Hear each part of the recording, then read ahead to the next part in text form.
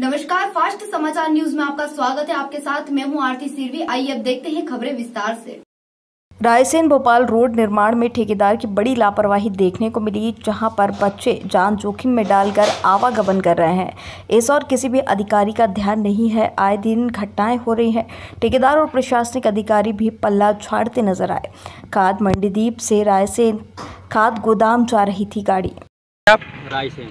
ये जो आपका नेशनल हाईवे जो बंद पड़ा है कितना टाइम हो गया बंद हुए? अरे इसको काफ़ी टाइम हो गया यार। और कोई अधिकारी लोग नहीं आए यहाँ पे? अभी तक तो कोई नहीं आया फ़िलहाल में। रोड वाले? रोड वाले भी नहीं आए वो बेचारे ड्राइवर इकट्ठे हो गए वो पोकलैंड के पास गए थे कि चलो यार ट्रैफ़िक चेक लगा दो। हम्म। मगर वो भी साले नहीं आए।